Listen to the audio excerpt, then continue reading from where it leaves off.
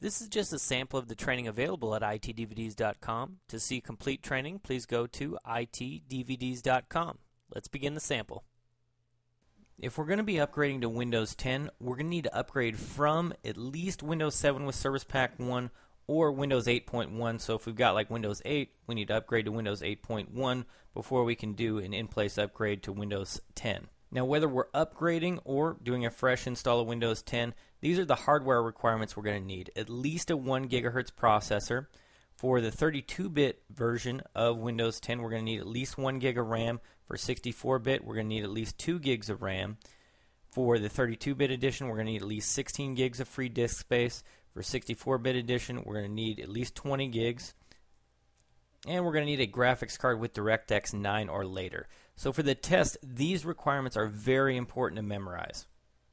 Now, as far as the editions of Windows 10 go that we can deploy, we've got Windows 10 Home, Windows 10 Pro, Windows 10 Enterprise, Education, Windows 10 Long Term Servicing Branch, Windows 10 Mobile, and Mobile Enterprise. Now, for our desktops, laptops, tablets, we're going to be deploying Home, Pro, Enterprise, or Education, or Long Term Servicing Branch. For our phones, we're going to use Mobile or Mobile Enterprise. And Home, Pro, Enterprise, Education, and LTSB all come in 32 bit and 64 bit versions. Now, for the most part, we're going to be working with Pro or Enterprise. Education is going to be very similar to Enterprise except that it's really designed for educational institutions and it's only available through the academic volume licensing. The long term servicing branch we're going to be talking about more in a bit, but it's another kind of special version of Windows 10. And as you can imagine, the home version is more for the home user. And again, mobile and mobile enterprise, we're really only going to be using on phones or really small tablets that are capable of making phone calls.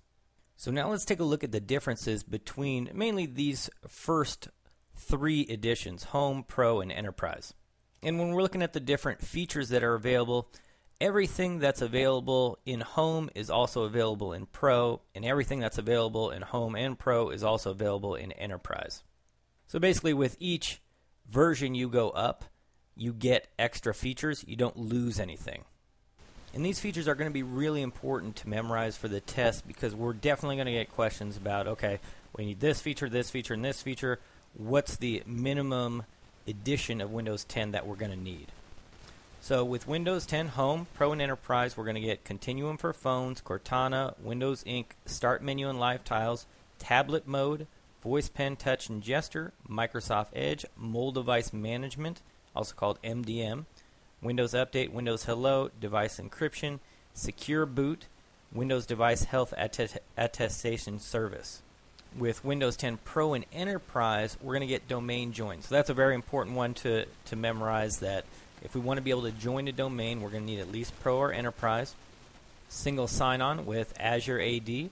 Group policy management, that's another important one because we need to be able to join a domain to be managed by group policy. Enterprise mode with Internet Explorer, that's another very important one. We can have Pro or Enterprise. Remote desktop.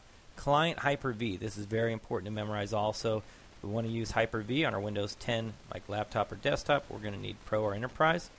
Enterprise State Roaming with Azure AD, Windows Store for Business, that's another important one.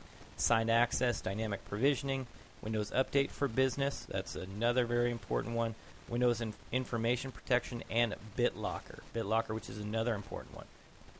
Now, features that are just for Windows 10 Enterprise, and as we'll see here in a second, also for the Education Edition. Uh, direct access, that's very important. All these are actually very important to memorize. Direct access, app locker, managed user experienced, app V, and user environment virtualization, also called UEV, credential guard and device guard, Windows to go, BranchCache, and start screen control with group policy. Now, Windows 10 Education has everything that Enterprise has, so basically everything, except for Cortana. That's the one Uh, exception.